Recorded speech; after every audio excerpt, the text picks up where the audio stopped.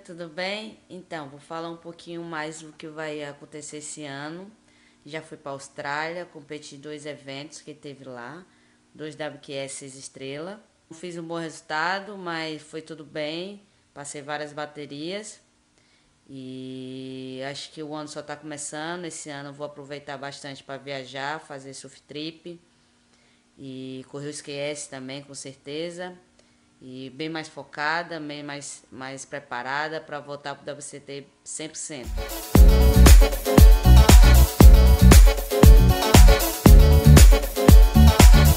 Próximo mês estou indo para o Equador.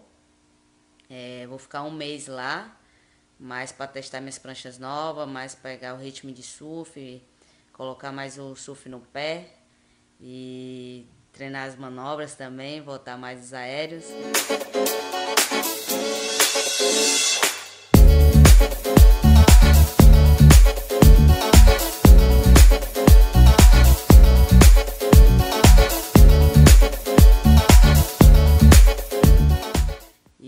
Logo em seguida vou vir para o Rio de Janeiro Estou esperando o convite para competir aqui no WCT.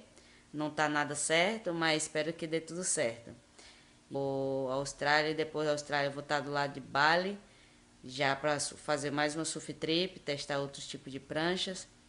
E é isso, esse ano vai ser bem corrido, estou bem preparada e estou treinando bastante, como dentro d'água fora também. Estou aproveitando esse ano já que não não tem muitas etapas mais para surfar, fazer essa surf trip e, e, fortalecimento também, ficar bem forte, é isso que eu estou focada.